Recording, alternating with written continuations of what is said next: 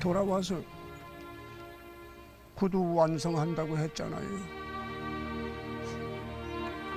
이러고 있으면 어떡해요? 내가 얼마나 기다렸는데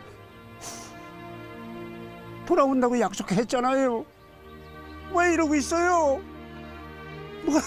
말좀 해요. 50년 동안이나 기다렸는데 이 동생한테 뭐라고 말 좀 해요.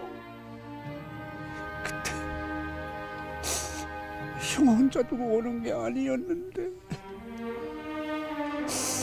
형, 형.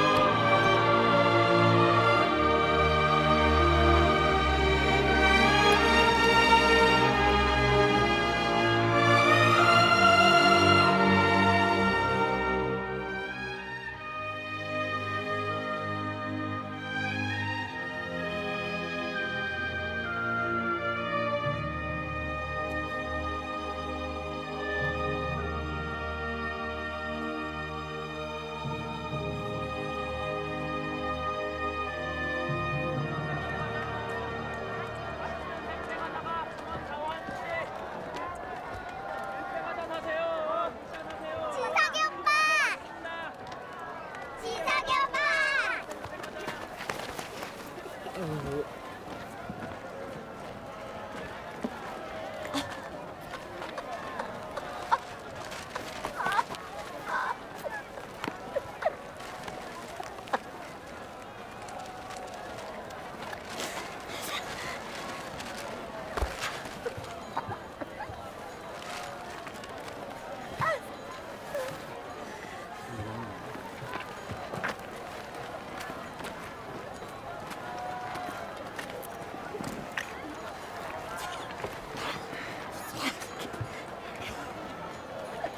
진석이 오빠, 우리 물 들어가자.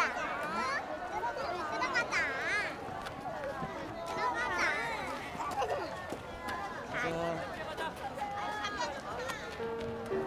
우리 영국이 영자 영민이 다들 많이 컸네